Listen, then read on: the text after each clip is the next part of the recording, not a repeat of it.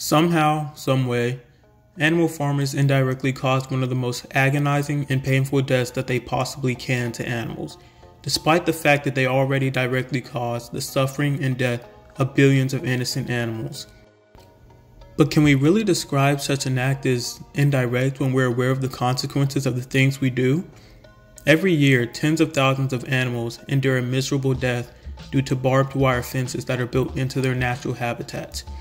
Animals such as bats, kangaroos, birds, gliders, rabbits, deer, and wild dogs are among some of the top animals affected by these death chains. Animals endure hours, days, and possibly weeks of starvation, thirst, slow death by bleeding, heart stroke, and oral injuries by trying to bite through barbed wire metals.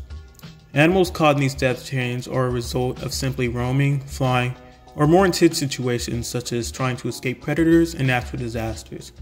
Animals blinded at night are also very vulnerable to these death chains. A video by the Dodo shows a woman who found over 100 bats stuck to a barbed wire fence. But why? Because back in the day, the invention of barbed wire fences was claimed to have revolutionized farming, which it did. Joseph Glidden was the inventor of barbed wire. He created it using a coffee mill. Joseph placed the barbs along a wire and then twisted another wire around it to keep the barbs in place. He received the patent for barbed wire in 1874 and was quickly embroiled in a legal battle over whether he actually invented it.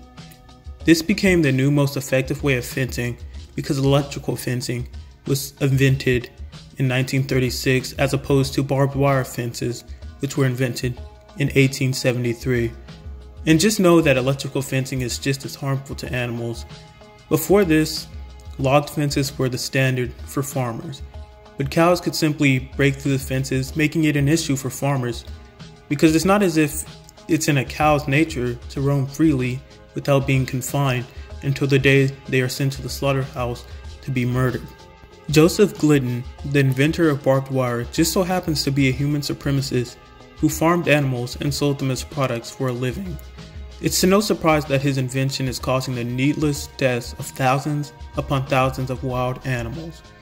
In fact, it seems the only individuals he wasn't considering when making this harmful fence was the innocent animals who dared to test the fence by attempting to move through it.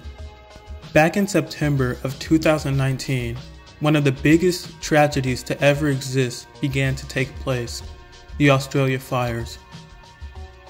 It's estimated that around 3 billion animals died in this tragic event. This heartbreaking photo of a baby kangaroo has gone viral, and the poor animal was burned alive in the fire. From the looks of this picture, this poor animal was suffering even before the fires got to him. The poor animal was likely very terrified and ran into the barbed wire while trying to escape the horrific fire. But the death chain simply had another plan for the poor baby. It's obvious that this animal had no chance of surviving these fires regardless of the barbed wire fencing. But I can say for a fact that the barbed wire fencing only added on to the brutality of the death. And it's likely that even if the fires didn't exist, this animal would not have survived the barbed wires the only difference is that the suffering would have gone on a lot longer. Are barbed wire fences so deadly and cruel that even something as brutal as a blazing forest fire can be considered a merciful way to go? So now you might be thinking, how can we get rid of these death chains?